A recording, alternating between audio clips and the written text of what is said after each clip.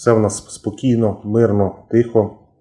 Вчора ми провели останній путь нашого героя, смілянина Станіслава. На завтра в нас також буде поховання о 12-й годині наступного нашого героя.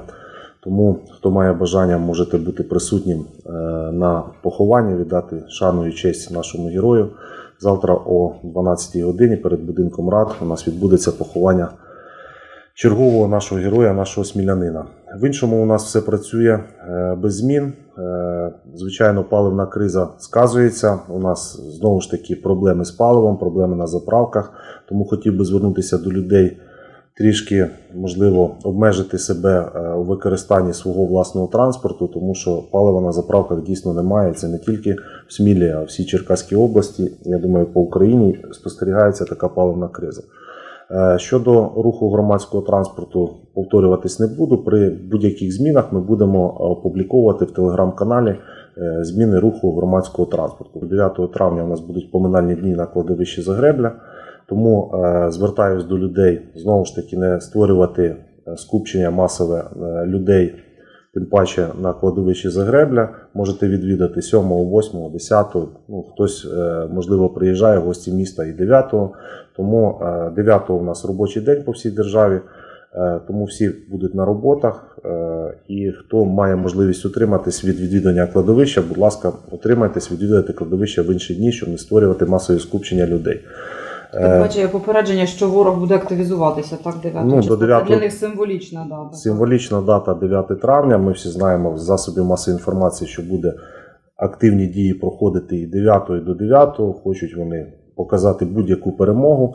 Тому я думаю, потрібно при повітряних тривогах обов'язково ховатися в укриття, обов'язково е- убезпечувати себе, рідних і близьких, і тим паче не створювати масові скупчення громадян. Об'єкти критичної інфраструктури підприємства працюють без змін. Ми, я говорив, що ми вже розпочали усунення аварійної ямковості. Вчора закінчили вулицю Сунківську до поминальних днів. Сьогодні ми переходимо до ремонту е, мосту через нашу річку Тясмин на вулиці Перемоги. Тому е, будемо там усувати ямковість і далі продовжувати йти по місту. Сезон тільки розпочинається. Асфальтобетон є, бітумна емульсія є. Бригада по усуненню аварійної ямковості при комунальному підприємстві набрана.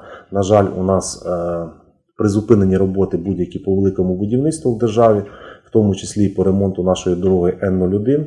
Тому зараз ми тільки можемо робити поточні ремонти або усувати аварійну ямковість, е, або ліквідовувати якісь небезпечні ділянки власними силами, тому що державні всі програми на час воєнного стану призупинені.